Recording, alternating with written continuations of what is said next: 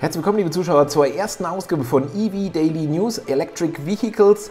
Um den Umstieg vom Verbrenner zum Elektroauto zu vereinfachen, gibt es hier für den deutschen Raum und Europa Neuigkeiten zur Elektromobilität. Jetzt täglich im Format zwischen 5 und 10 Minuten. Abfahrt. Ja, Top News, so untergliedert sich das in Zukunft. Es werden alle Marken betrachtet und den Top News von heute ganz klar die absolute Nummer 1, die Preissenkung des meistverkauften Autos in Deutschland, dem Tesla Model Y. Und ihr seht hier, zu Zinssatz 0,0% haben sich die Autos verringert. Wir schauen uns das mal an. Ihr könnt hier links sehen oder in der Mitte das Model Y 2023. Da seht ihr Preisänderungen im Format 1900 Euro beim Model Y Hinterradantrieb und bei den beiden Dual-Motor-Varianten, also die, die mit Allradantrieb fahren, jeweils 5000 Euro Reduktion auf 49.900 Euro. Und dann beim Model Y Performance auf 55,99 und wie gesagt der Sollzinssatz 0,0% Ja, ganz klar, Model Y 2023. Und wenn man das sich dann mal ausrechnet, ist die Finanzierung natürlich sehr, sehr interessant und dann braucht man auch nicht lange überlegen. Aber wir wollen ja nicht nur die News verkünden, sondern auch das Ganze bewerten. Wer sich jetzt mal anguckt, was das neue Model Y Juniper denn bringen wird, haben wir hier mal die erwarteten Verkaufspreise recherchiert, einfach aus der Erfahr Erfahrung heraus. Und ihr seht hier einfach, dass das Model Y Hinterradantrieb wird erwartet mit 47.900 Euro und die Allrad-Variante 55,9 und das Model Y Performance mit 61,9. Und natürlich auch der Sollzinssatz dann wieder normal zu momentan 6,29 Prozent. Allerdings erwarten wir da auch im Laufe des Jahres eine Reduzierung in Richtung 4,99 Prozent. Und was sind jetzt aber die Knaller-News, die jetzt mal so im Hintergrund, die könnt ihr auch auf Elon Motors TV dann erfahren, fahren. Bestellbar ab 3,24 schon und lieferbar ab Mai. Das ist das, was wir auf dem anderen Kanal schon gesagt haben. Wir haben jetzt aber News, dass in mit ziemlicher Wahrscheinlichkeit mit fast 100 Prozent, gerade schon die Phase in Grünheide genutzt wird. Da stehen nämlich die Bänder, um das Model Y Juniper zu konfigurieren. Und auch links unten, wenn ihr da mal guckt, Model, y, Model 3 Performance erwarteter Preis 59,9 bestellbar ab Februar und dann auslieferbar werden wir mal schauen wann. Ich schätze mal auch so ab Mai. Ja, so viel die News. Das waren die Top News des Tages. Kommen wir weiter zur Top Brand. Jeden Tag werden wir diese Brand ändern und heute am 17. Januar geht es los, ja, mit der neuen Klasse mit BMW.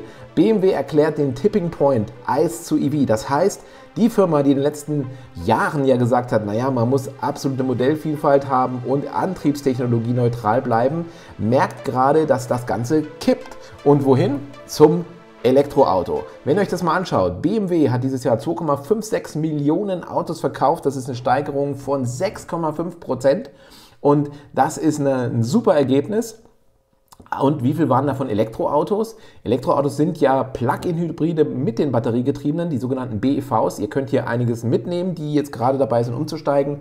0,567 Millionen waren es insgesamt. Das ist ein Anteil von 22,1 Prozent der produzierten Autos. Aber da seht ihr noch dran, dass 78 Prozent sind noch Verbrenner. Allerdings auch hier eine Steigerung um 66,8 Prozent zum Vorjahr. Und natürlich für uns die allerwichtigsten sind die BEVs, die Battery Electric Vehicles, die rein batteriegetrieben sind. 0,376 Millionen Autos hat, äh, BMW da produziert.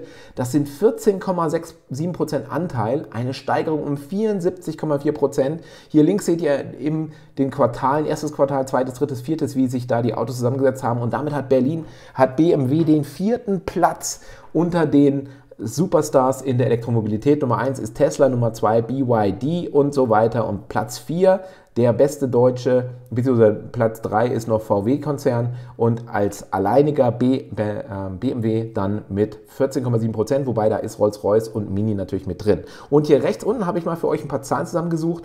Das meist, also den bestverkauften elektro-batteriegetriebenen Wagen in der Top 10 Deutschlands ist das iX1 mit 14.674 auf Platz 9. Und die Zahlen für den i4 habe ich leider nur bis November. 8.614 Autos produziert. BMW gibt da eigentlich die Gesamtzahl der Vierer, BMW Vierer, da sind aber die Grand Coupés mit dabei und die Coupés. Allerdings Elektroanteil hier schon ein Viertel ungefähr, denn insgesamt wurden 27.000 Autos verkauft. Und zum Schluss kommen wir noch zum Top-Thema Technik. Das ist dann die dritte Komponente neben News und der Top-Brand dazu. Reden wir mal über die Top-Technik und ihr seht hier schon, auf was will ich hinaus? Ja, auf Software. Was hat denn die Elektromobilität gebracht? Ja, wir sind natürlich noch effizientbewusster geworden durch die neuen Softwareangebote in den Autos. Ladeplanung ist natürlich essentiell für Elektroautos. Das ist allerdings nicht ganz so einfach wie bei den Verbrennern. Wer da mehr erfahren will, der sollte dann auch mal auf den Kanal gucken. Da gibt es dann Anwendervideos dazu, wie man das macht. Und das wird es auch in Zukunft dann für die gesamten Marken geben. Und was ist natürlich die große Evolution der Software in den Elektroautos? Natürlich nicht nur die Steuerung des Autos, sondern Entertainment-Apps, Games und Internet. Alles jetzt auch während der Fahrt. Und ihr seht hier am neuen BMW Live mit dem neuesten iDrive-System. Da gibt es dann auch ein, ein, einzige Apps oder eigen, eigenständige Apps, wie zum Beispiel Fußballergebnisse und man kann dann da auch spielen, also für die Kinder gerade wichtig beim Laden. Und natürlich eine ganz große Errungenschaft, wenn mal irgendwelche Probleme sind, gibt es das Software-Update über die Air, over the Air. Das ist die neue Technologie, mit der die Autos einfach angenehmer in Zukunft zu maintainen sind, zu servicen. Die ganzen Termine ist einfacher. Also das Thema Software ist ein ganz wichtiges Thema. Wir reden hier in der Woche dann auch über Aerodynamik, über Gewichte, über Antriebsformen, über die Motoren und über wie man das Ganze lädt. Also das wird dann täglich äh, verändert. Heute Software, das ist mal der Einstieg und damit kommen wir auch zum Ende der heutigen Sendung. Wie gesagt, morgen gibt es dann die nächste mit einer anderen Marke und neuen Top-News hoffentlich. Ansonsten wünsche ich euch auf jeden Fall, dass ihr den Kanal abonniert und wir werden dann aus Erfahrung über die Neuigkeiten reden, die bewerten und natürlich auch folgern. Und alle Verbrennerfahrer sind natürlich herzlich eingeladen, die Sendung zu gucken, um einfach hier die Top-Marken kennenzulernen. Und wir gehen komplett durch, durch Audi, durch BMW, durch Mercedes, durch Volkswagen, durch Porsche, durch Tesla, durch ähm, Hyundai, also all die Stars am Himmel. Und da gibt es dann für alle das entsprechende Angebot. Ja, schreibt mir in den Kommentaren, was ihr noch alles sehen möchtet und hinterlasst am besten ein Like und ich bin dann für euch da hier in Daily Returnability. Und wünsche euch jetzt auf jeden Fall noch einen schönen Tag, schönen Abend, bis morgen dann wieder hier bei EV Daily News. Servus!